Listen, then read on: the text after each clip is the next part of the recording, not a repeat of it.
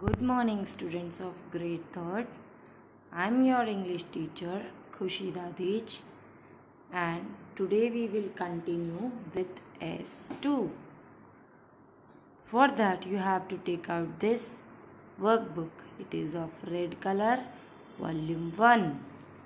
In that, take out page number 22, like this 22.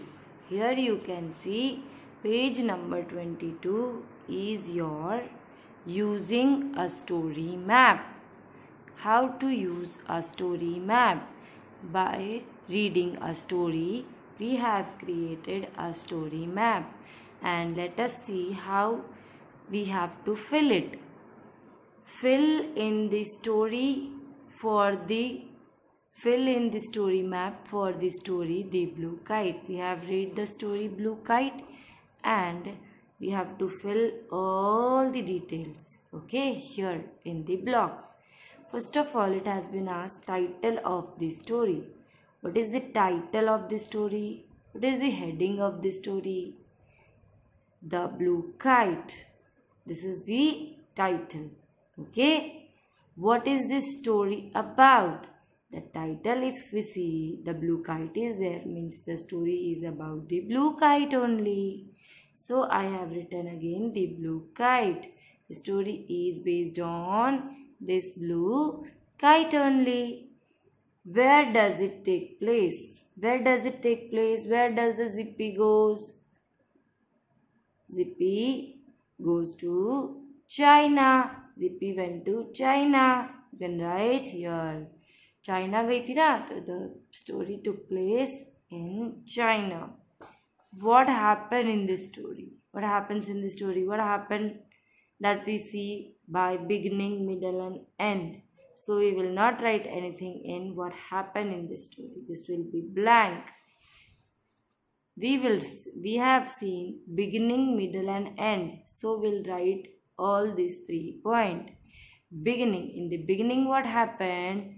Zippy hears the birds talking and the birds were talking no about the kites only and for that Zippy decides to go to China.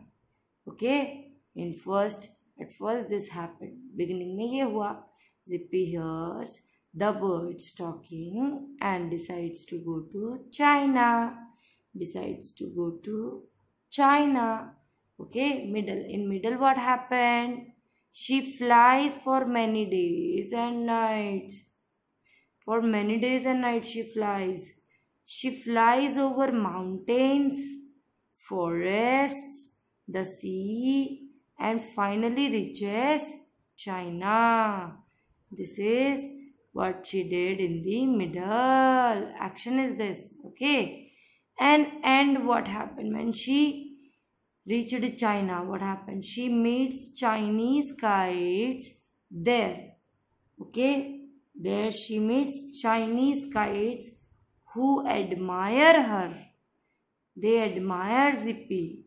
They talked about Zippy that how beautiful you are.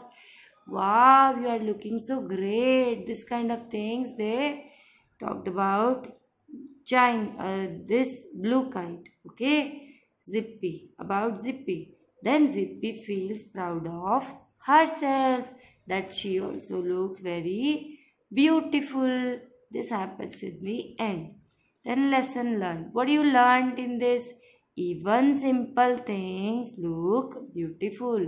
Even Zippy is of square shape. She looks beautiful. She is of simple. She is very simple. So even simple things look beautiful. This is our work of s2 you have to understand it well and fill it like this only. Thank you